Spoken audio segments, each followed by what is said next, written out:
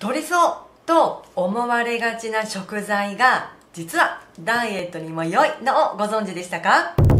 これを食べたら太るんじゃないの？と一般的にこう思われている食材の中でも実はダイエットに向いている食材があるんです。今回はシリーズでお伝えしておりますその第3弾なんですね。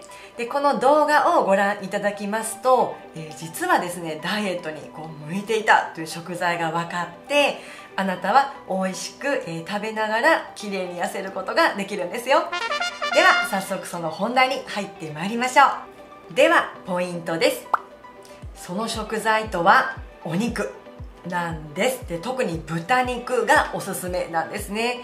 でなぜかというとですねその理由を今からお伝えしていきます。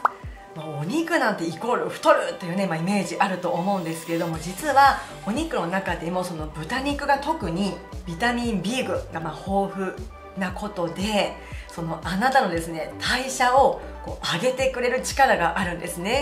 でやはり代謝が低いままですと、まあ、太り安くなってしまいますよね。そこでしっかりとその代謝を底上げする意味でも豚肉を取ることでまずは代謝を上げていくこと。でプラスやはりそのお肉というのは筋肉のま材料になるわけですからやはりその筋肉、まあ、筋力をこうつけていく意味でもやはりお肉ってね必要なんですよね。では具体的にそのじゃあどうやって、まあ、取ればいいのかっていうその、まあ、事例をお伝えしていきます。とは言ってもですねやっぱりお肉って食べ過ぎたら太るんですよ。でまたその腸内環境の、ま、悪玉菌イコールデブ菌ともう呼ばれるものですね。その悪玉菌が大好きな餌がやっぱりお肉なんです。ですからもちろん、まあ、美腸活専門家としてはですねお肉をそのばっかり取りすぎるのはダメです。なぜかというと腸内環境を乱して汚れて、まあ、デブ菌が増えてしまうからなんですがじゃあどうやったら食べたらいいの？ということです。もう必ずお野菜とセットでお肉を食べてください。そこがクリアできたら大丈夫です。いいですか？ですからお肉ばっかりばっか食べはダメです。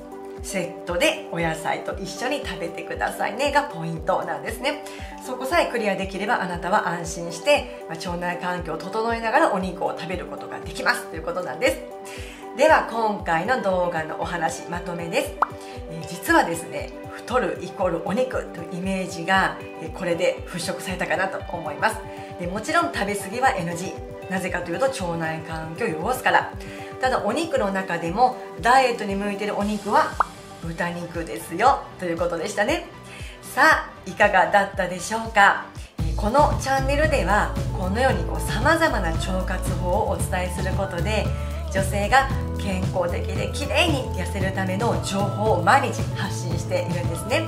なのでぜひ高評価ボタンやチャンネル登録をしていただいてどんどんご参加ください。